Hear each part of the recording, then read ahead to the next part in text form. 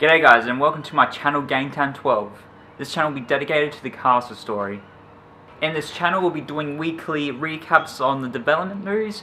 Um, once the game is released we'll be doing gameplays, uh, let's plays, tutorials, reviews. As of right now I'm trying to get this channel off the ground with getting a better YouTube design channel along with getting a better mic for this camera but with making uh, a lot of various other channels from scratch, I know a lot of do's, don'ts, and I've learned a lot, a lot of lessons. I'm not expecting this channel to be like the Yogscast, I'm more of expecting this channel to be something like Brenny Beast. I like your channel, mate. So, with all the introductions out of the way, let's get started. In this video, I'll be going through the dev diaries, um, with everything that's been happening within the studio of Sauropod. Um, everything is going good in terms of development. Uh, we've been seeing a lot of stuff with their development pipeline with 3ds Max. I'm a Blender user, but if it gets the job done, then it's good. They've also been uh, developing a lot of UIs for um, such as mouse pointers, uh, the crafting, uh, the crafting options, uh, such as the little pie chart, which is will be very good for um, game flow and gameplay. They also added a combat system for the Bricktrons. And if you don't know what the Bricktrons are, um, they are the workers or the people that live within the floating lands um, within Castle Story.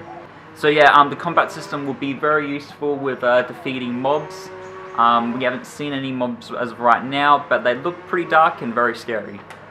They've also been working on their memory management, uh, which means there can be a lot more trees, a lot more floating islands, and a lot more Bricktrons, and there will also be a lot of physics, a lot of explosions. On the fan side of the game, there has been a lot of uh, fan-made videos, such as trailers, art, and dedications, such as GezStickman's fan animation, which shows uh, Bricktron's hard at work. It's a flash animation.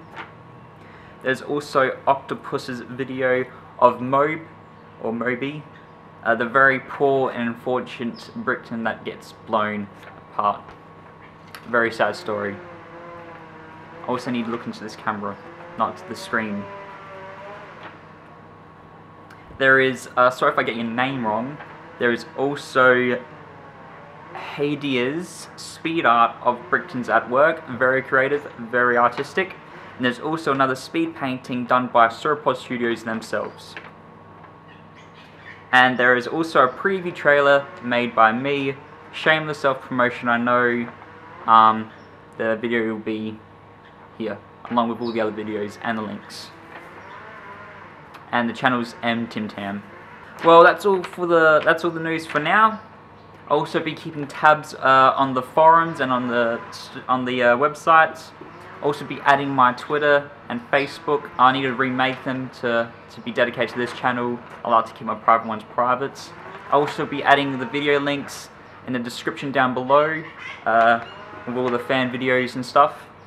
And for all the people that are wondering, this camera is a Nikon D5100 and I'll be using Premiere and After Effects to edit all these videos together. Uh, please spread the word on this, um, not on the, only on this channel, but also uh, on the game itself. And uh, yep, I'll be posting these videos weekly. Um, once the game comes out in the next few months, I'll be posting videos during the week.